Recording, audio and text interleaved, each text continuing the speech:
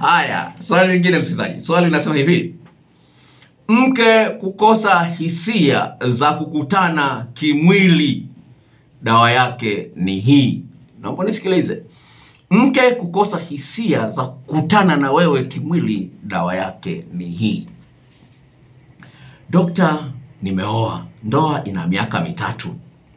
Mke ana wivu kupita kiasi.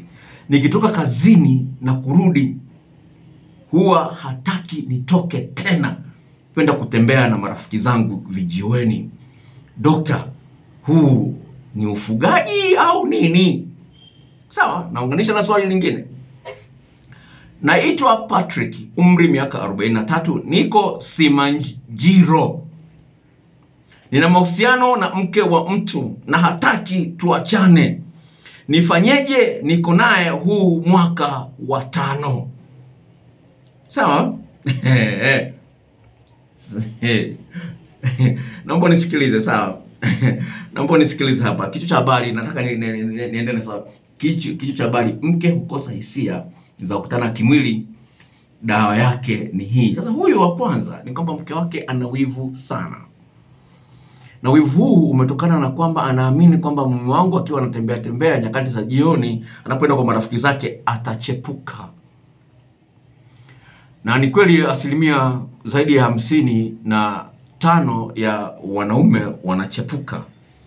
Sasa naposema kwa nini nimesema mke kukosa hisia kuta, za kutana ni kimwili, ni hivi, kuna maeneo matatu.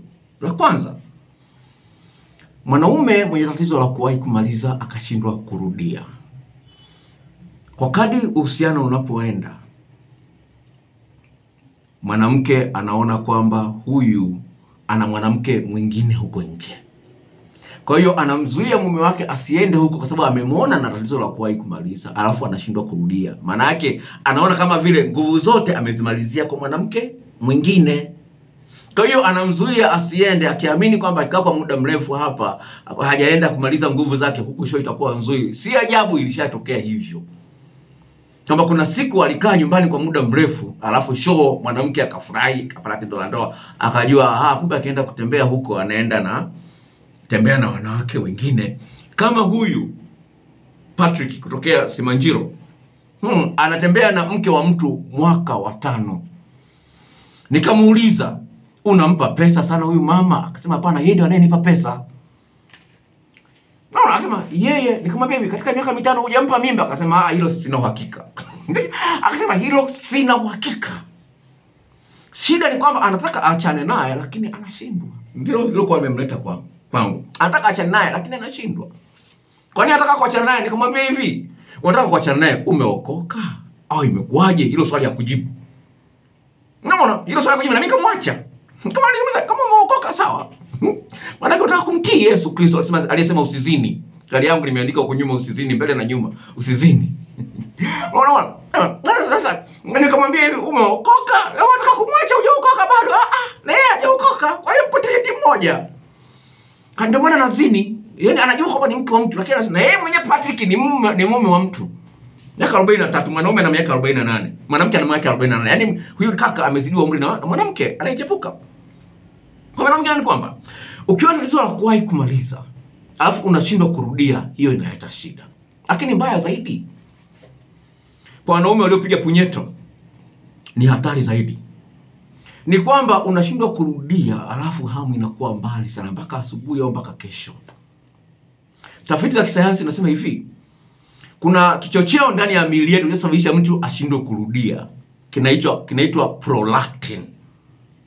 Sawa, kinaitwa prolactin. Unashindwa kabisa kurudia, na wengine wanakoroma na sinzia. Sawa, lakini sasa kutokana na hali kama hiyo, una tatizo la kuwahi kumaliza, alafu hujui kumwandaa mwanamke. Katika mwili wake ana maeneo kumi na saba na kila eneo lina ufundi wake. Kwa hiyo usiniulize hapa, niambie eneo moja, sitakwambia. Nataka jihela hata kunipa shilingi elfu mbili hata siku moja, hakuna hata msikilizaji hata mmoja akasema, dokta, elfu mbili ya soda hiyo kunywa. Hamna, huu mwaka sijui kumi na ngapi nafanya kipindi hapa RFA, haijawahi kutokea hata mara hii moja. Na dokta, hela soda shilingi elfu mbili hamna. Nakwambia kuongea na mimi nje redio unalipa. Sio sio nikitoka mimi sio redio tena. Kwa hiyo nachotaka kuambia hivi nachotaka kuambia hivi, ni jambo la msingi ufahamu kwamba hayo maeneo kumi na saba kila moja ina ufundi wake. Ili mwanamke afike kilele, lazima ujue kila moja unalifanyaje. Sasa wewe unafahamu mambo manne katika kumi na saba kwa ndoa ya miaka mitano, saba, nane, tisa, huyu mwanamke ataboreka na wewe.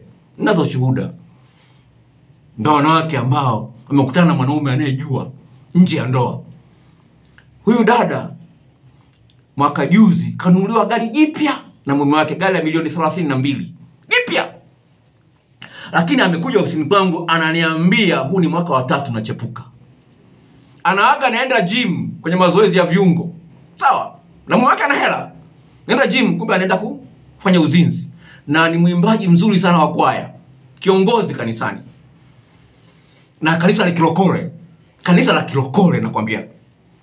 Sawa, unaweza kuona jinsi gani ilivyo, unaweza kuona jinsi gani. Kisa mwanaume kwenye tendo la ndoa hapa amepuuzia, wakati Biblia inasema kwamba ni makosa kubwa sana. Kumbukumbu la Torati ishirini na nne mstari wa tano ni wajibu wa mwanaume kumfurahisha mwanamke. Kumbukumbu la Torati ishirini na nne mstari wa tano ni wajibu wa mwanaume kumfurahisha mwanamke. Ukienda kwenye Biblia hiyo hiyo, wimbo ulio bora sura ya saba mstari wa nane nasema anayeshindwa kumfurahisha mwenzie atadharauliwa kabisa. Kwa hiyo anapokuwa amekudharau ndio ana- anaona sasa, wewe unanikojolea tu unaniacha, unanikojolea tu unaniacha, unanichafua bwana. Kwa nini? Kwa- a- a- a- Nani anayefurahia kukojolewa? Nani anayefurahia kuchafuliwa? Hmm?